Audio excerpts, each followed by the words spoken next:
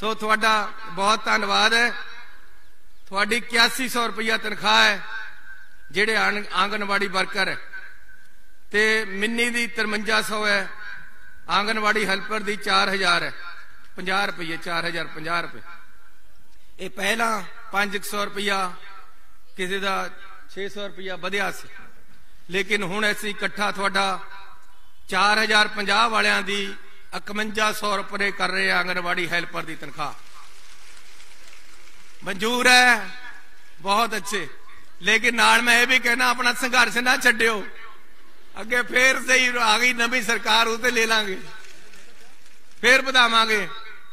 ਦੂਸਰਾ 5300 ਰੁਪਏ ਵਾਲਿਆਂ ਦੀ ਜਿਹੜੀ ਆਂਗਨਵਾੜੀ ਵਰਕਰ ਹੈ ਮਿੰਨੀ, ਉਹਨਾਂ ਦੀ 5300 ਤੋਂ 6300 ਰੁਪਇਆ ਕਰ ਰਹੇ ਹੈ। ਤੁਹਾਨੂੰ ਬਹੁਤ ਬਹੁਤ ਵਧਾਈ ਹੋਵੇ।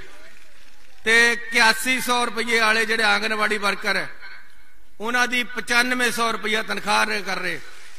ਤੁਹਾਨੂੰ ਸਾਰਿਆਂ ਨੂੰ ਬਹੁਤ ਬਹੁਤ ਵਧਾਈ। ਲੇਕਿਨ ਗੱਲ ਇੱਥੇ ਖਤਮ ਨਹੀਂ ਹੋ ਰਹੀ। ਇਹ ਇੱਕ ਵਾਰ ਹੁਣ ਵਧਾਈ ਹੈ। ਲੇਕਿਨ ਹਰ ਸਾਲ ਆਂਗਨਵਾੜੀ ਵਰਕਰ ਹੈ ਜਿਹੜੇ, ਉਹਨਾਂ ਦੀ 500 ਰੁਪਇਆ ਤਨਖਾਹ ਵਧੇਗੀ ਹਰ ਪਹਿਲੀ ਜਨਵਰੀ ਨੂੰ।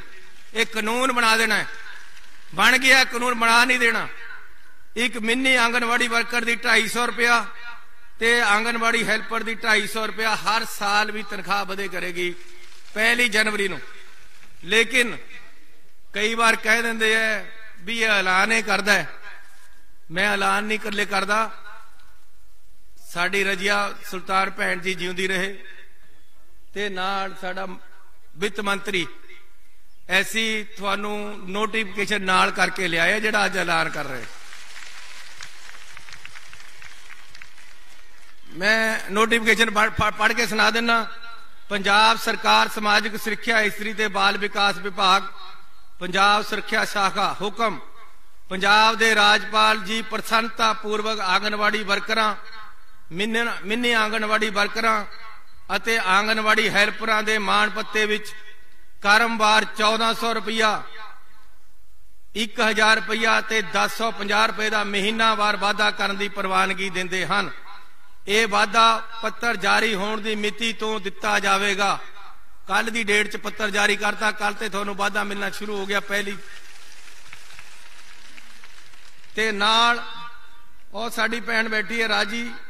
ਸ਼੍ਰੀ ਵਾਸਤਵ ਆਏ ਦੇ ਸਾਈਨ ਥੱਲੇ ਹੋਏ ਵੇ ਹੈ ਆ ਤੁਹਾਡਾ ਨੋਟੀਫਿਕੇਸ਼ਨ ਜਾਰੀ ਹੋ ਗਿਆ। ਦੂਸਰਾ ਨੋਟੀਫਿਕੇਸ਼ਨ ਪੰਜਾਬ ਸਰਕਾਰ ਸਮਾਜਿਕ ਸੁਰੱਖਿਆ, ਇਸਤਰੀ ਦੇ ਬਾਲ ਵਿਭਾਗ, ਸਮਾਜਿਕ ਸੁਰੱਖਿਆ ਸ਼ਾਖਾ ਹੁਕਮ ਪੰਜਾਬ ਦੇ ਰਾਜਪਾਲ ਜੀ ਪ੍ਰਸੰਨਤਾ ਪੂਰਵਕ ਆਂਗਨਵਾੜੀ ਵਰਕਰਾਂ, ਮਿੰਨੀ ਆਂਗਨਵਾੜੀ ਵਰਕਰਾਂ ਅਤੇ ਆਂਗਨਵਾੜੀ ਹੈਲਪਰਾਂ ਦੇ ਮਾਣ ਪੱਤੇ ਵਿੱਚ ਕਰਮਵਾਰ 50 500 ਰੁਪਏ 250 ਰੁਪਏ ਅਤੇ 250 ਰੁਪਏ ਸਾਲਾਨਾ ਵਾਧਾ ਕਰਨ ਦੀ ਪ੍ਰਵਾਨਗੀ ਦਿੰਦੇ ਹਨ।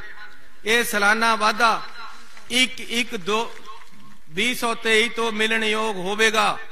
ਮਤਲਬ ਹਰ ਸਾਲ ਇੱਕ ਸਾਲ ਬਾਅਦ ਅਗਲੀ ਜਨਵਰੀ ਤੋਂ ਸਾਲਾਨਾ ਵਾਧਾ ਹੋਏਗਾ, ਤੁਹਾਨੂੰ ਹਰ ਸਾਲ ਤੁਹਾਡੀ ਇਸ ਤਰ੍ਹਾਂ ਹੀ ਤਨਖਾਹ ਵਧੇਗੀ। ਤੇ ਜਿਹੜੇ ਤੁਹਾਡਾ 1400 ਰੁਪਇਆ 1000 ਤੇ 1050 ਰੁਪਇਆ ਵਧਿਆ, ਉਹ ਪਹਿਲੀ ਤਰੀਕ ਜਿਹੜੀ ਲੰਘ ਚੁੱਕੀ ਹੈ, ਇਸ ਤੋਂ ਲਾਗੂ ਹੋ ਜਾਏਗਾ, ਅਗਲੇ ਮਹੀਨੇ ਤੁਹਾਨੂੰ ਵਧਾ ਕੇ ਤਨਖਾਹ ਮਿਲੇਗੀ। ਸੋ ਮੈਨੂੰ ਖੁਸ਼ੀ ਹੈ ਕਿ ਮੈਂ ਆਪਣੀਆਂ ਭੈਣਾਂ ਦੇ ਕੰਮ ਆ ਸਕਿਆ। ਆਪਣੀਆਂ ਮਾਵਾਂ ਦੇ ਕੰਮ ਆ ਸਕਿਆ, ਆਪਣੀਆਂ ਧੀਆਂ ਦੇ ਕੰਮ ਆ ਸਕਿਆ। ਤੇ ਤੁਹਾਡੇ ਲੀਡਰਾਂ ਨੂੰ ਮੈਂ ਇੱਕ ਦਿਨ ਕਿਹਾ, ਮੈਂ ਕਿਹਾ ਸਟੇਜ ਪਰ ਬੋਲਣਾ ਪਊਗਾ ਫਿਰ ਉਸ ਦਿਨ। ਕਹਿੰਦੀ, ਸਾਨੂੰ ਸਰਕਾਰ ਦੇ ਹੱਕ 'ਚ ਬੋਲਣ ਦੀ ਆਦਤ ਨਹੀਂ ਹੈ। ਸੋ ਹੁਣ ਹੱਕ 'ਚ ਬੋਲਣ ਦੀ ਆਦਤ ਅੱਜ ਤੇ ਪਾ ਲਿਓ। ਤੁਹਾਡੇ ਭਰਾ ਦੀ ਸਰਕਾਰ ਹੈ। ਇੱਕ ਵਾਰ ਹੁਣ ਪੰਜਾਬ ਸਰਕਾਰ ਦਾ ਨਾਂ ਦਾ ਵੀ ਲਾਰਾ ਮਾਰ ਦਿਓ। ਪੰਜਾਬ ਸਰਕਾਰ! ਪੰਜਾਬ ਸਰਕਾਰ!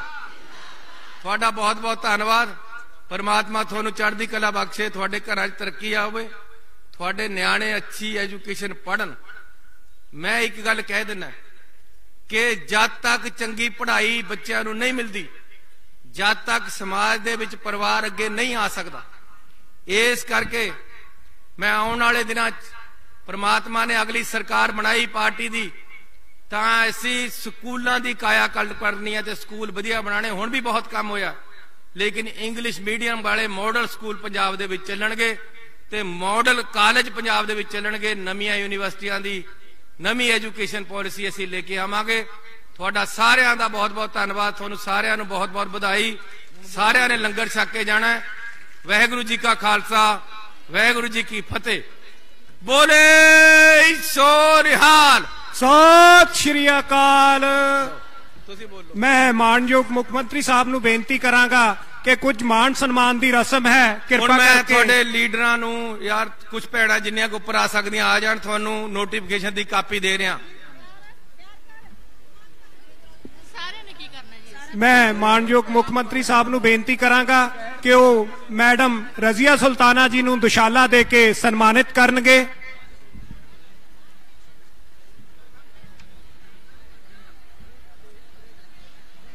ਮੈਡਮ ਰਜ਼ੀਆ ਸੁਲਤਾਨਾ ਜੀ ਨੂੰ ਦੁਸ਼ਾਲਾ ਦੇ ਕੇ ਸਨਮਾਨਿਤ ਕਰਨਗੇ। ਇਸ ਤੋਂ ਬਾਅਦ ਤਕਨੀਕੀ ਸਿੱਖਿਆ ਮੰਤਰੀ ਰਾਣਾ ਗੁਰਜੀਤ ਸਿੰਘ ਜੀ ਨੂੰ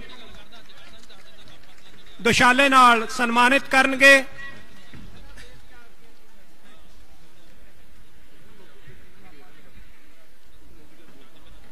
ਇਹ ਨੋਟੀਫਿਕੇਸ਼ਨ ਦੀ ਕਾਪੀ ਇਹਨਾਂ ਨੂੰ ਸਪੁਰਦ ਕਰਨ ਤੋਂ ਬਾਅਦ ਮੁੱਖ ਮੰਤਰੀ ਸਾਹਿਬ, cabinet minister madam Razia Sultana ji ਨੂੰ ਸਨਮਾਨਿਤ ਸਨਮਾਨਿਤ ਕਰ ਰਹੇ ਹਨ।